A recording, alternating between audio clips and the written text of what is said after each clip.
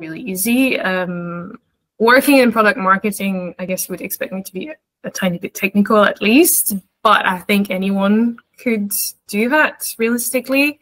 The only thing that kind of I had to get used to was you need to save every time you do something, and because I want to go fast, I always forgot, and then that's why sometimes I broke things.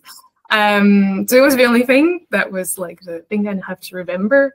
But as long as you've got the flow in your head, you just use the product and then you take screenshot every step of the way.